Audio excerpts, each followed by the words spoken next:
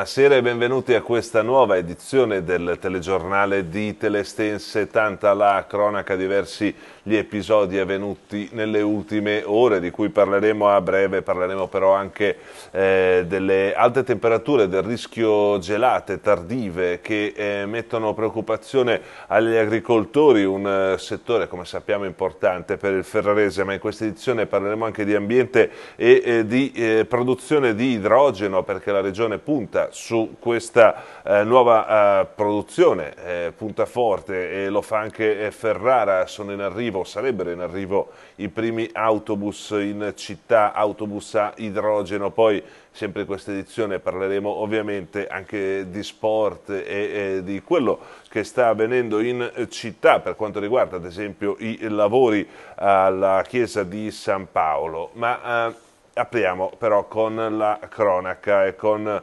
un docente che sarebbe stato aggredito con un pugno eh, al volto da parte del patrigno di un'allieva ripresa dall'insegnante durante le lezioni. L'episodio è avvenuto circa un mese fa nel Copparese, poco prima delle vacanze natalizie. Il docente quarantenne aveva ripreso la giovane studentessa e si era accesa una discussione. La minorenne avrebbe riferito l'accaduto al patrigno, il quale si sarebbe presentato all'uscita dell'istituto scolastico a fine lezione e avrebbe sferrato un pugno al volto dell'insegnante aggredito che poi si è recato eh, al pronto soccorso di Cona per le cure del caso e dopo aver meditato sul come affrontare la vicenda ha deciso di querelare l'aggressore. I carabinieri hanno identificato il presunto responsabile del gesto, uomo residente in provincia di Ferrara e lo hanno denunciato per lesioni personali e torneremo a breve sulla cronaca. Adesso però dobbiamo parlare di agricoltura, un settore, come abbiamo detto, fondamentale per tutto il territorio ferrarese. Ci si appresta a vivere un momento dell'anno sempre eh, con molte eh, problematiche, in particolare però negli ultimi anni, eh, da quando si riscontrano appunto temperature più alte eh, della media e tutti i problemi che ne derivano. Sentiamo. C'è preoccupazione tra gli agricoltori del comparto frutticolo, in particolare per via delle alte temperature. In questo periodo sono di gran lunga superiori rispetto alle medie invernali e potrebbero danneggiare le produzioni. A tracciare il punto della situazione, Confagricoltura Ferrara, nei mesi di dicembre e di gennaio si evidenzia il caldo anomalo non ha fatto fermare il ciclo di crescita delle piante e ciò potrebbe portare a una ripresa vegetativa precoce di albicocche, pesche e prugne, ripresa che porterebbe alla nascita dei primi germogli sulla pianta, come già accaduto nel 2020-2021, una germogliazione così precoce esporrebbe alla perdita di gran parte della produzione a causa delle frequenti gelate tardive che ultimamente si stanno verificando in primavera. Fondamentale in questo caso l'attivazione delle assicurazioni, dicono da Confagricoltura, un altro tema che preoccupa gli agricoltori riguarda l'approvvigionamento idrico. Attualmente è scarsa la quantità di precipitazioni e il livello delle falde acquifere risulta più basso rispetto alla media del periodo. La speranza è che le piogge primaverili possano consentire un adeguato ristoro di bacini e corsi d'acqua.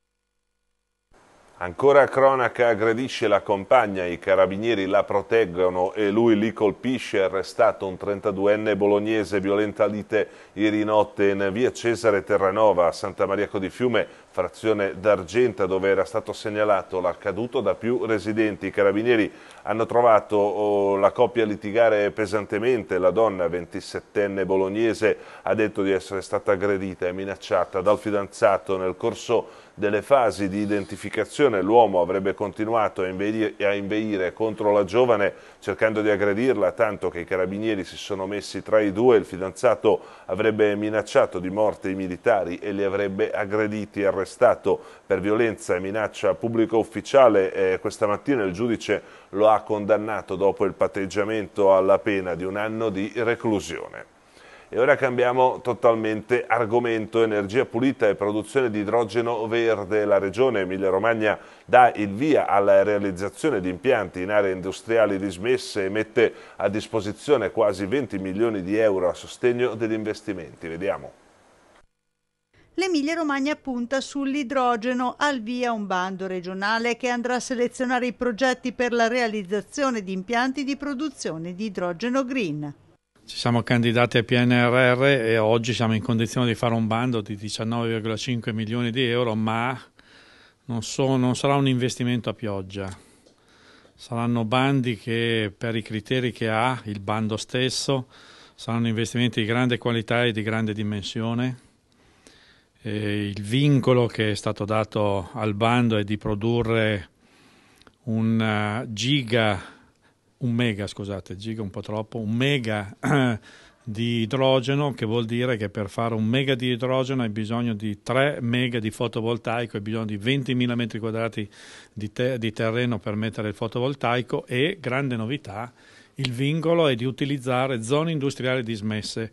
quindi consumo del suolo zero, vai a recuperare un territorio, ma la vera novità è che hai bisogno di fare investimenti in tecnologia, in progettazione, in elettrolisi. Se uno dice elettrolisi, spieghiamo alla nostra gente cos'è un'elettrolisi. L'elettrolisi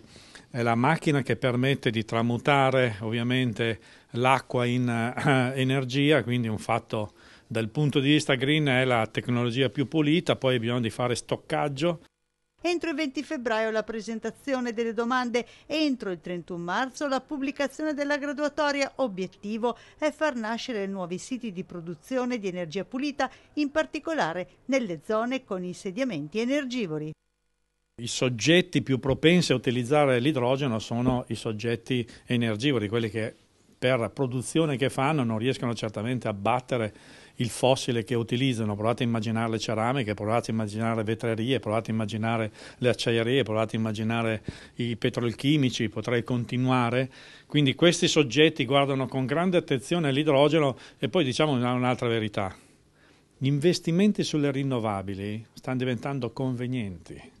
e quindi diventa un fatto certo di un ecosistema di competenze, di investimenti, di sapere, di ricerca, ma diventa anche un fatto di convenienza. Sempre più la produzione in autoconsumo, di prossimità, di autoproduzione è la cifra della discussione non solo in Emilia Romagna, è il mondo che va lì e non lo, non lo si ferma. Chi sta dentro lì sta dentro nel sistema, chi sta fuori di lì viene buttato fuori. Ferrara entro il 2024 arriveranno i primi autobus ad idrogeno, a comunicarlo è lo stesso assessore alla mobilità Alessandro Balboni, si tratta di tre mezzi per i quali il comune di Ferrara ha già presentato una delibera per attrezzare la città con una nuova stazione per il rifornimento di idrogeno che sarà eh, realizzata grazie ai fondi del PNRR, un autobus ad idrogeno significa aria più pulita, l'unica emissione prodotta da questi autobus è il vapore acqueo, ricorda eh, Balboni appunto che ha dato questa notizia poche ore fa.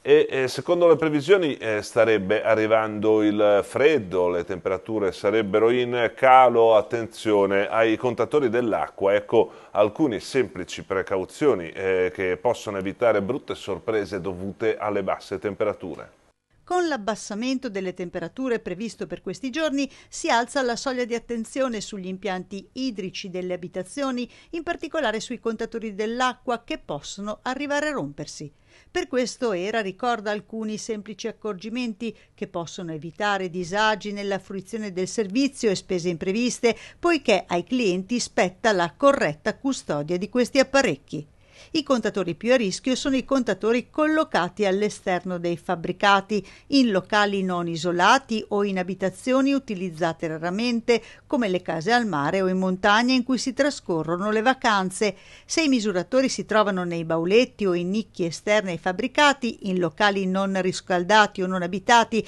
e se la temperatura esterna dovesse rimanere per vari giorni sotto zero, è consigliabile lasciare che da un rubinetto esca un filo d'acqua. È sufficiente una modesta quantità, evitando inutili sprechi. I bauletti o le nicchie, compresi gli sportelli, devono essere opportunamente coibentati, ovvero rivestiti di materiale isolante. Per un lavoro fai da te si possono usare polistirolo o poliuretano espanso, materiali facilmente reperibili presso i rivenditori del settore edilizio. Lo spessore dei pannelli deve essere di almeno 3 cm.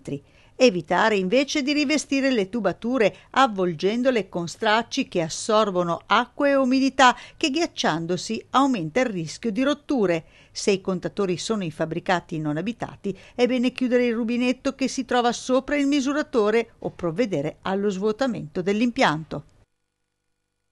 Ancora cronaca, andiamo in provincia di Ferrara, valeva più di 22.000 euro la merce sequestrata ieri mattina dalla polizia locale di Comacchio sulla spiaggia di Porto Garibaldi. Numerosi capi di abbigliamento ed accessori delle più note griff di moda eh, alla vista degli agenti, eh, gli uomini abusivi che avevano la merce sono scappati e gli agenti hanno sequestrato i prodotti eh, merce ora a disposizione dell'autorità giudiziaria per le indagini del caso. E ora parliamo di sanità, di tumori. C'è uno studio Unife eh, è, da cui arriva un'importante opportunità per ridurre le masse eh, tumorali, ma eh, capiamo meglio in questo servizio.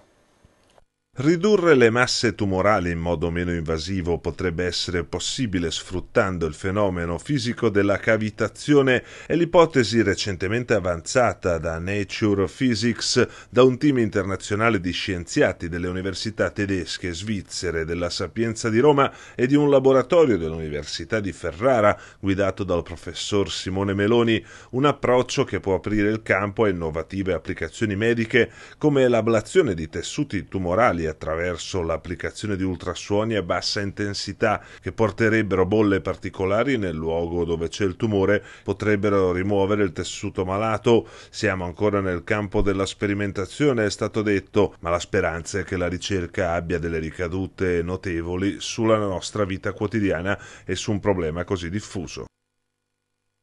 Chirurgia vascolare da Lode, le tre prime specializzate del nuovo ciclo, la scuola di specializzazione ferrarese eh, fu tra le prime a sorgere in Italia e ora la dottoressa Bisogno, la dottoressa Camagni e dottoressa Piccolo sono le tre nuove chirurghe vascolari che hanno concluso i loro studi nell'ambito della scuola di specializzazione di chirurgia vascolare di Unife diretta dal professor Paolo Zamboni. Si tratta delle prime tre specializzate da quando la scuola ha ripreso la propria attività. Tre allieve che si sono diplomate con la votazione di 50 su 50 e la lode a chiusura appunto del ciclo quinquennale. Quindi eh, complimenti a queste nuove dottoresse. Ora eh, cambiamo argomento, a Ferrara la musica è al fianco delle donne contro l'inferno dell'Iran e dell'Afghanistan. Sentiamo. La violenta repressione della protesta che da quattro mesi vede le donne iraniane e tanti giovani, molti studenti universitari di loro, schierati al loro fianco in difesa dei più elementari diritti umani contro il regime degli Ayatollah che continua con feroce accanimento la sua sanguinaria strategia di torture, violazioni, detenzioni abusive e spietate condanne a morte, diffonde a macchia d'olio lo sdegno nei confronti del regime iraniano la solidarietà alle vittime che nel nostro Paese ha coinvolto istituzioni, associazioni, partiti, tante cittadine e cittadini, arriverà a Ferrara sul palcoscenico del Teatro Comunale Abbado, in occasione della rappresentazione della Manon Lescaut di Puccini, in scena il 20 22 gennaio. Il regista dell'opera pucciniana Aldo Tarabella, infatti, ha dichiarato che inserirà nella scena della partenza verso l'esilio il gesto simbolico del taglio di una ciocca di capelli, come segno di solidarietà, ha spiegato, per unirci alla protesta che ha accomunato in tutto il mondo il sostegno alle rivolte in Iran. Il 12 gennaio scorso il ministro degli esteri Antonio Tajani, rispondendo a nome del governo al question time al Senato, si è espresso con chiarezza, chiedendo all'Iran, a nome del governo, l'immediata cessazione della repressione e una moratoria per la pena di morte. Anche Ferrara si è mobilitata in questi quattro mesi con manifestazioni di solidarietà alle donne iraniane entrate nel mirino degli Ayatollah come ribelli alla Sharia. Le proteste, lo ricordiamo, sono iniziate in quel paese lo scorso settembre con l'omicidio di Mashamini, la giovane di 22 anni, arrestata da una squadra speciale della polizia morale perché il velo le lasciava intravedere qualche capello.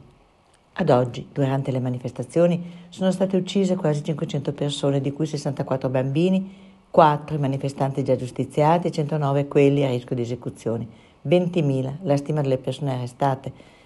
Questi sono i dati riferiti in un'intervista a settimanale online Vita alla giornalista Anna Spen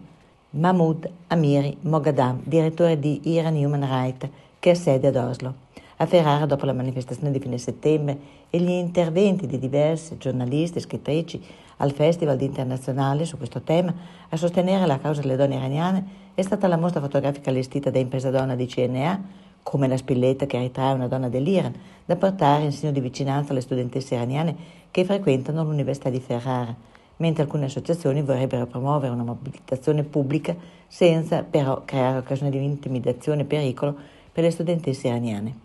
Intanto Singole cittadine e cittadini di diverse associazioni stanno facendo girare questa evocativa immagine. È dell'artista afghana Shamshia Hassani, di 35 anni, graffitista e professoressa all'Università di Kabul. Se condividiamo la foto, dice la didascalia, le daremo voce insieme a lei a tutte le donne afghane e aggiungiamo noi iraniane che stanno vivendo un vero inferno.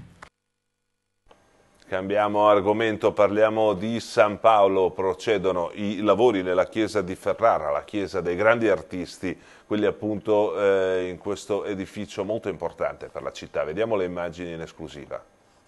Ad un anno dall'avvio dei lavori procede il complesso di lavori alla chiesa della conversione di San Paolo, chiesa chiusa dal 2007 da circa 15 anni, fra le più antiche chiese di Ferrara, il primo nucleo risale al X secolo, chiesa aggredita dal terremoto del 1570 e da quello del 2012, un edificio noto per i tanti artisti che l'hanno impreziosita, tra cui il Bastianino, Girolamo da Carpi, Ippolito Scarsella e con ogni probabilità Carlo Bononi. Tra le altre cose sono da poco terminati interamente gli interventi di restauro dell'affresco raffigurante il ratto di Elia ad opera di Scarsellino. Nel complesso sono decine le lavorazioni in corso che in molti casi procedono parallelamente restauri, consolidamenti, puliture, ritocchi, ma anche finiture e verifiche strutturali, oltre all'inserimento di travi di rafforzamento e pilastrini in acciaio. La chiesa è al centro di un doppio stanziamento per un totale di oltre 3,8 milioni di euro,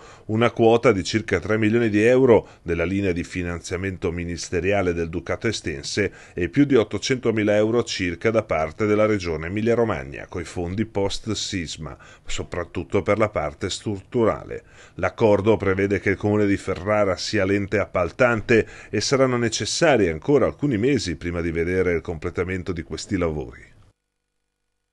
Domenica di basket, quella di ieri sia per Ferrara che per 100 club eh, che però ha perso nella partita casalinga contro Rimini 75-85, una sconfitta da cui però i ferraresi sono usciti a testa alta. Sentiamo eh, l'allenatore Spiroleca. Siamo rammaricati per quello,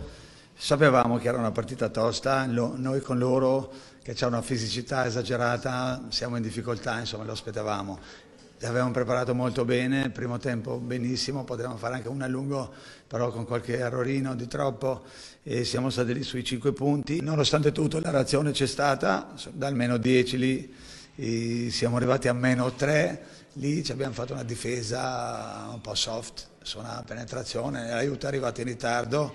peccato, dopo sai, riguardando le statistiche dici qualche tiro libero di troppo, che siamo nelle squadre migliori per i tiri liberi e oggi anche potevano far comodo perché dopo se l'arbitraggio è un po' così maschio, noi non è che siamo favoriti, si sa, qualcosina paghiamo, insomma, ecco, hanno, hanno lasciato un po' i contatti e in quel momento lì noi abbiamo pagato qualcosina. Sapevamo tutti l'importanza di questa,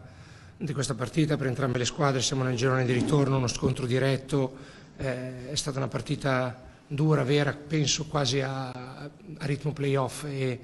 eh, ritengo abbiamo giocato una partita solida, matura, non ci siamo scomposti nel primo tempo quando Ferrara ci puniva spesso e volentieri con un penetre scarica assolutamente efficace, aveva vivacità dal flusso di palla, grande positività. Sono molto contento perché ci sono vittorie che sono basilari dentro una stagione, io credo che questa vittoria per noi sia un vero passo in avanti, una dimostrazione che stiamo eh, crescendo su un campo difficile dove tante squadre blasonate hanno perso, per cui eh, ripeto, complimenti alla mia squadra, un ringraziamento al pubblico veramente strepitoso, mm, assolutamente un fattore. E adesso però, come ha detto la squadra,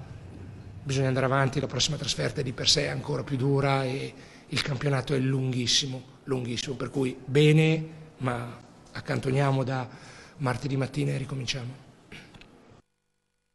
Continua a volare invece la Benedetto XIV Tramec 100 che ieri nella città del Guercino ha battuto Udine 76 a 65 eh, in uno scontro al vertice che ha proiettato 100 in cima alla classifica di A2. Anche di questo si parla questa sera su Telestense durante eh, Baschettin e a proposito invece di Club Ferrara la partita tra Ferrara e Rimini. La sintesi della partita la potrete vedere sempre questa sera su Telestense alle ore 23.30. Poi appunto è lunedì, quindi è tempo di lunedì sport per parlare della SPAL, del mercato, dei nuovi arrivi tra cui eh, l'ultimo, eh, quello del greco eh, Giannis e anche eh, si parlerà ovviamente della vittoria di sabato scorso contro la Salernitana per 1-0 da parte eh, della SPAL. Quindi eh, una serata ricca di sport, invece per questa edizione del telegiornale è tutto, io vi ringrazio e vi auguro una buona serata.